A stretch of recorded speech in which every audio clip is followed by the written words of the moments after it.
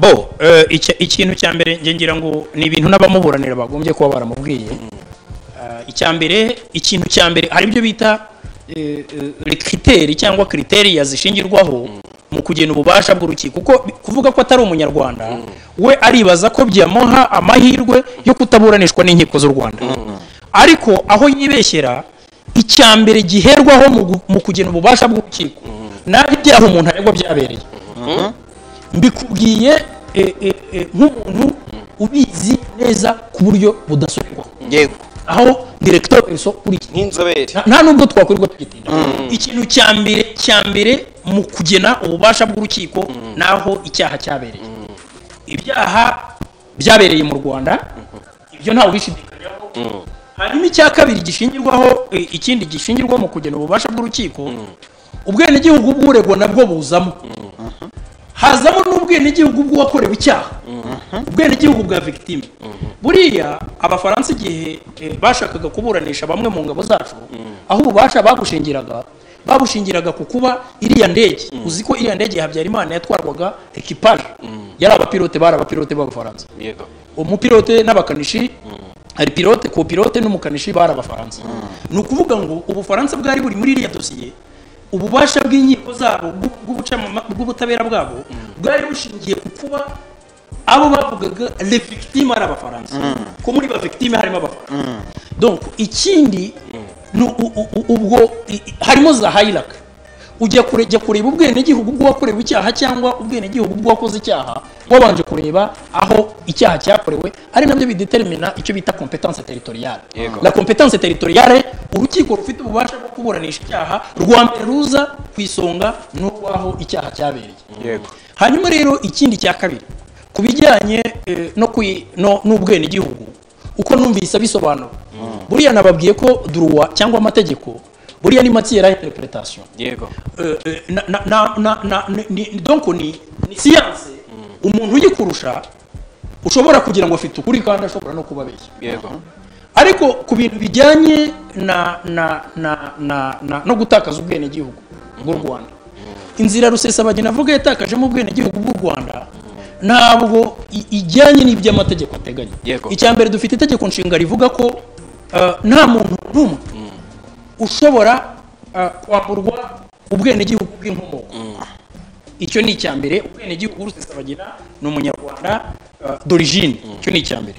Hanyuma icya kabiri ni uko hari abantu bagiye bajya mu mahanga mu buryo bwo gushaka imibereho cyangwa mu buryo bwo guhaha eh, mu buryo wenda umuntu agenda akaba impunzi runaka. Mu buryo agenda akaba impunzi wenda yazageraho akavuga ati eh, kuba wenda mu gihugu runaka hari uburenganzira ntabona bitewe n'uko eh, ntari umwenegihugu waho kandi kugira ngo mbone ubwenegihugu ndaguha urugero nko muri Norvège. Muri Norvège kugira ngo usabe ubwenegihugu bwabo ubanza kwiyambura ubwo ufite.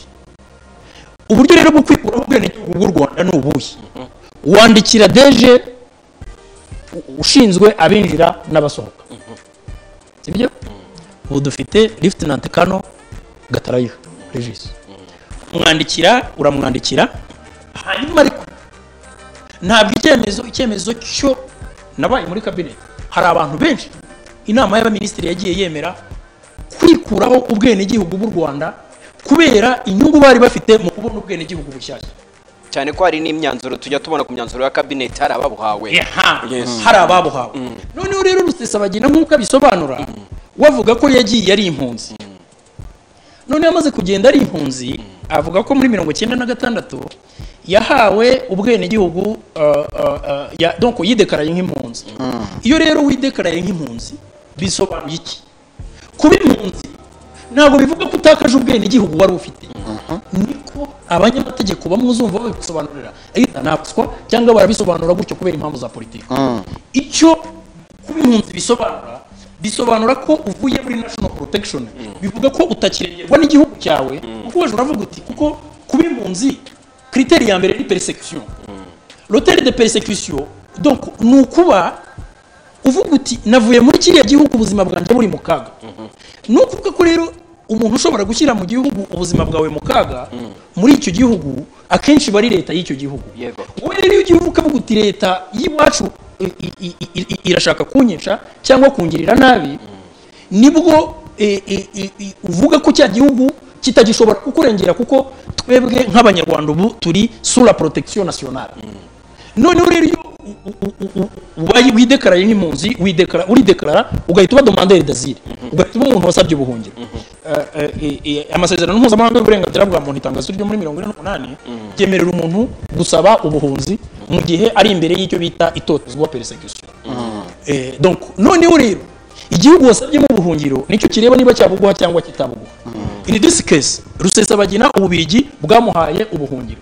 Iyo rero ubaye impunzi uba ugiye kuri manda ya hcr uba ugiye mu cyo bita uba usohotse muri national protection uba usohotse mu kuba utakirengerwa n'igihugu cyawe noneho ukajya eh, kuri manda eh, ya hcr kuko eh, eh, hcr niyo custodian niyo ishinzwe ibijyanye n'impunzi Yego. ubwo iyo rero ugiye kuri manda ya hcr ariko hcr ifite ibihugu byose byose ni memba muri ririya eh, muri ariya masezerano yo muri mirongo itanu na rimwe. Yerekeranye n'uburenganzira bw'impunzi. Noneho rero rusesabagina amaze kubona ubwenegihugu bw'ububirigi. Ubwo habaye icyo bita cessation clause. Cessation clause ni iki? Iyo wagiye uri impunzi kuko kuba impunzi ni status iri temporaire. Uba impunzi mu buryo buri temporaire nta muntu ushobora kuba impunzi for life. HCR rero ikagufata ikaguplasa. Donc iyo uri sur la protection internationale ukaba sur- kuri manda ya HCR ubwo uri muri international protection ariko warasohotse muri national protection ariko ibyo ntabwo bisobanura gutakaza ubwenegihugu kuko ubwenegihugu ubwo uba waratakaje ibyo nakwita protection diplomatique par exemple ntabwo wagira ikibazo ngo ujye muri ambasade y'u Rwanda mu Bubiligi dufashe nko muri kesi ya Rusesabagina ntabwo eh, niyo bagiye kuguha ubuhunzi akenshi bakunze no kukwaka impapuro z'igihugu cyawe. Ariko pasiporo n'indangamuntu ntabwo ari byo bigize ubwenegihugu. Ni preuve de nationalité. Donc ni evidence y'uko uri umwenegihugu runaka mu gihe hagira igihugu gishaka kukuburanya ko mu gihe hagira abantu bashaka kukubwira ngo wowe ni umunyarwanda. Twebwe rero nta kibazo dufite cy'uko rusesabagina ari umunyarwanda kandi akaba n'umubirigi rusesabagina ni umunyarwanda ufite n'ubwenegihugu bw'ububirigi. Ni kimwe n'uko nanjye ndi umunyarwanda nkaba mfite n'ubwenegihugu bw'ikindi gihugu. Donc noneho rero icyo bisobanuye ni iki? Icyo bisobanuye ni ukuvuga ngo iyo uvuye muri international protection ubwo ni na yo mpamvu iyo uri muri international protection baguha eh, urupapuro rw'inzira rwitwa titre de voyage. Iyo titre de voyage ni iki? Titre de voyage ni, urwandiko rw'inzira rukwemerera gutembera rwemerera impunzi gutembera barakubwira bashobora biba binanditse barakubwira ngo voyager dans tous les pays sauf le pays natal sauf le pays d'origine. Iyo ukiri ugifite iyo statut y'ubuhunzi ushobora gutembera mu bihugu byose. Noneho hari n'abantu kubera ko nta n'impamvu baba bafite yatumye baba impunzi. Hari abajyaga baza akagera i kampala. Indangamuntu ye akaba yarayihishe cyangwa akigira muri ambasade y'u rwanda i kampala agasaba resepasi akaza mu rwanda. Ariko bamukubitira igikashe. Muri amerika umunyamerika akaba azi ko uyu muntu yavuye muri amerika agiye i kampala. Ariko de- final destination ari u rwanda. Ariko muri iyo dokima yawe ntihazagire ikigaragara ko wigeze ugera mu rwanda. Cyane cyane ko abantu benshi hari n'ababa barahunze ubusa ari ugushaka imibereho ibyo ngibyo biranahari. Noneho rero kuri kese ya rusesabagina rero iyo ubaye naturalize ukaba uri mu gihugu cyemera uh, double citizenship. Ubwenegihugu bubiri. Iyo ubonye ubundi bwenegihugu haba habaye icyo bita cessation clause. Cessation clause bivuga eh, ko kwitwa impunzi birangiye ni na yo mpamvu ya dokima uyireka noneho bakaguha carte de citoyenneté ukaba unemerewe gusaba pasiporo y'igihugu eh, cyaguhaye ubwenegihugu. Noneho uri kuri kese ya rusesabagina iyo ufashe pasiporo y'ikindi gihugu kuko hari ibyo bita retour volontaire kuvuga uti ibyo nari narahunze byararangiye ntibikiriho nditahiye ibyo byo ni ibindi. Ariko noneho rusesabagina afite pasiporo mbere. Niba ari ibyo nanjye nza mu rwanda bwa mbere. Nishyuye visa. Muri bibiri na cumi na gatatu nza eh, nishyuye visa mu kwezi kwa cumi nishyuye visa y'amadolari mirongo itanu bantereramo sitampu pasiporo yanjye nyizanye iyo visa nayikwereka. Noneho i- i- nyuma maze kugaruka mu rwanda ni bwo nasabye eh, eh, ni bwo nasabye pasiporo y'u rwanda. Icyo gihe ni bwo nasabye pasiporo y'u rwanda. Icyo bivuze rero ni iki? Rusesabagina mu bihumbi bibiri na kabiri Yego. no mu bihumbi bibiri na kane. N'igihe bashutingaga iriya filime ye. Rusesabagina yazaga hano mu rwanda. Yazaga hano mu rwanda. Kandi ntabwo akubwira ko yahazaga nk'umubirigi kuvuga ngo yarazaga akaza afite pasiporo deje ni uburenganzira bwe. Ni kimwe n'uko n'undi muntu uh, eh, kuko pasiporo ntaho ihuriye n'ubwenegihugu. Pasiporo cyangwa indangamuntu ni preuve de nationalité. Ni ikimenyetso cyo kuba umwenegihugu w'igihugu runaka. Hanyuma ikindi kibazo cya kabiri amategeko mpuzamahanga muri iki kintu kijyanye eh, n'ubwenegihugu. Igihugu ni cyo kigena nta gihugu cyatira umuntu ubwenegihugu adashaka. Ariko icyo nshaka kuvuga ni uko kugira ngo uburyo uburyo rusesabagina avuga yaretse ubwenegihugu bw'u rwanda ntabwo ariko bari ku bwenegihugu bw'u rwanda kuko ntibikurikije amategeko. Kuko wandikira imigirasiyo hanyuma icyemezo ubwo busabe bwawe bukazaba submitted minisitiri ufite imigirasiyo mu nshingano akazaba submitting kabineti inama y'abaminisitiri hano niyo yemerera umuntu kureka ubwenegihugu bw'inkomoko. Hanyuma rero noneho rero eh, nkiri kuri iyo kesi ya rusesabagina igihe yari ari mu bubirigi hari za komisiyo gatora hari n'ubundi buryo bwo gutangira kumukurikirana bwabayeho icyo gihe ububirigi ikintu kimwe nuko mu mategeko yacu itegeko nshinga ryacu naryo reba article 25 itegeko nshinga ryacu naryo rivuga ko u rwanda rudashobora gutanga umwenegihugu warwo ngo rumuhe ubutabera bw'ikindi gihugu. Iyo ngingo no mu bubirigi irahari. Ni na yo yari yarashingiyeho bavuga bati ni mwebwe niba mushaka rusesabagina ntabwo twamubaha kubera ko ari umuturage wacu. Ndetse na biriya mwumva abanyaburayi barimo gusakuza abantu bo muri bariya badepite bo muri za eh, bo muri european parliament bo mu, mu, mu, mu, mu, mu, muri union eh, Européenne. eh, européenne kaza n'abasenateri Ba- bariya badepite ibyo bakora daboro kwanza ni interference. Ni ikibazo cyamaze kugera mu nzego z'ubutabera ubu ngubu gikurikiranwa n'inzego z'ubutabera. Hanyuma ikindi cya kabiri ntabwo rusesabagina eh, eh, gusa rusesabagina bariya badepite. Bo kuba bamuvugira nk'abantu bazi ko ari umwenegihugu wabo. Nk'umuparlementaire ushobora kuvuga uti ni kimwe n'uko natwe abadepite twavuga tuti hari umunyarwanda wacu wahohotewe mu gihugu iki n'iki. Eh, mukavuga muti turasaba ko wenda yazahabwa ubutabera bunyuze mu mucyo.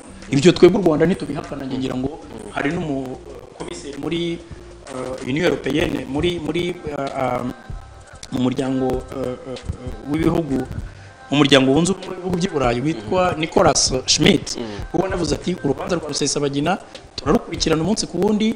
Uh, yabonye legal assistance yari akeneye ububirigi bwarayimuhaye ati kandi hari uburyo uh, uh, tuzakurikirana n'urubanza rwe. Ngira ngo wabonye ko mu rubanza rwe muri audience harimo n'abo bambasaderi n'abo basenateri bavuze muri amerika bandika. Gusa bo ibyo bo bakora ni interference mu, kindi gihugu mu butabera bw'ikindi gihugu.